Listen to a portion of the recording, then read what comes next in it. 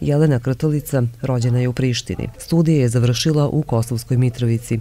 Silom prilika morala je da napusti Kosovo, što kako kaže nije i ne veruje da će ikada moći da prežali. U jednom trenutku stvorila se potreba da istoriju i ono što je vekovima ranije stvarano i nažalost kasnije uništeno zabeleži i za glavnu junakinju uzima stvarnu ličnost kneginju Milicu.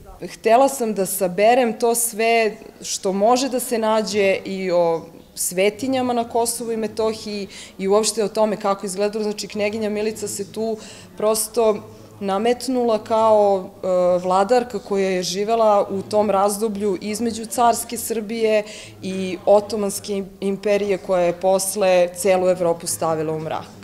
Jug Bogdanova kći je istorijski, ali i ljubavni roman, u kome autorka osim događaja, potkrepljena istorijskim činjenicama, opisuje ceo život kneginje Milice. Bilo je zaista teško ovaj, snaći se, pogotovo u početku, dok sam ulazila u priču, eh, sastaviti likove, eh, stvoriti između njih tu neku atmosferu koja Mislim, prvo je teško zamisliti uopšte kako je to izgledalo u to vreme, kakvi su bili odnosi među ljudima, kako su se oni obraćali jedni drugima.